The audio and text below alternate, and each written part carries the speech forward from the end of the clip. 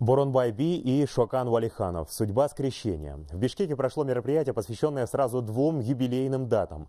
235-летию видного кыргызского государственного деятеля Боранбая-Би и 180-летию известного казахского исследователя и ученого Шокана Валиханова. Как отмечают историки, две эти выдающиеся личности пересеклись волею судеб, сыграв в жизни своих государств очень важную роль. Боронбай Минмуратов, живший в XIX веке, являлся ярким правителем из сыкульских кыргызов и высоко ценился казахским ученым Шоканом Валихановым, первым посетившим его владение. В результате их личного знакомства он получил ценнейшие сведения и часто упоминал имя Боронбая в своих записях.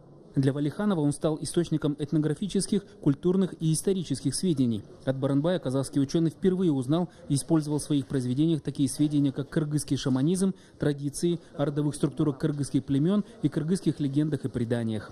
Юбилейные мероприятия, связанные с такими известными личностями, как Шокан Валиханов и Буранбай Би, это возможность вспомнить и оценить важные исторические деяния, совершенные этими людьми. К счастью, у нас есть практически полная научная база, связанная с деятельностью этих людей. То есть мы можем практически в исходном виде восстановить хронологию прошлых столетий.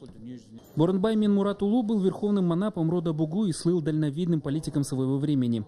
Его прославили умение находить разумные решения в сложных ситуациях, стремление жить в мире и согласии с другими народами.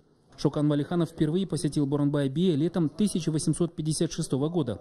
Казахский ученый основательно изучил систему родоплеменных делений кыргызов. Впоследствии Валиханов стал первооткрывателем фольклористики, а фрагмент эпоса «Манас Кокетейдун Аши» был впервые опубликован на русском языке в 1901 году в его посмертном труде «Джунгарские очерки».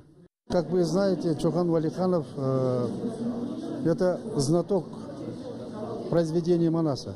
Вот это события, связанные с э, Бурамбай Би и Бием и э, Шоханом Валихановым, ожива, оживляет те наши связи, э, скажем, не только вот в 19 веке, еще дальше, еще дальше.